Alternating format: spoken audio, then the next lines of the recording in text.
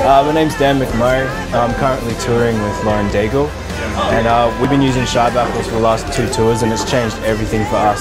Uh, especially the way our stage is set up. We're in drums, we're in close proximity with Lauren. And so her vocal mic picks up everything that happens. So we actually did the first few shows on this tour without Shy Baffles and we had a lot of issues.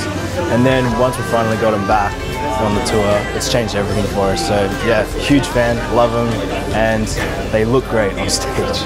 I'm not in a cage like a gorilla, so that's it. Thank you.